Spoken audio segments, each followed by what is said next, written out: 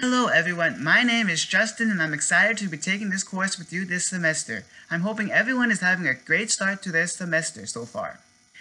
One of the reasons why I'm taking this course is to learn how to better communicate effectively as well as earn the Business Comm certificate. By, in case you didn't know, by taking various comm classes, you could earn various comm certificates to add alongside your degree, and this class is one of them. My personal goal for this semester is, is to learn how to better communicate effectively so that I can use it throughout my job.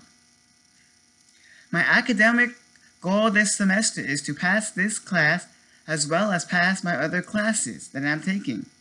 I'm excited to learn about the various ways to communicate with people in a, in a way, in an effective way that is useful in a job career.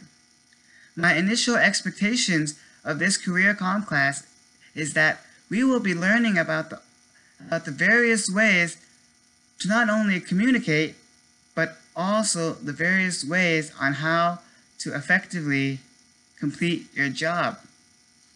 I hope everyone's having a great day.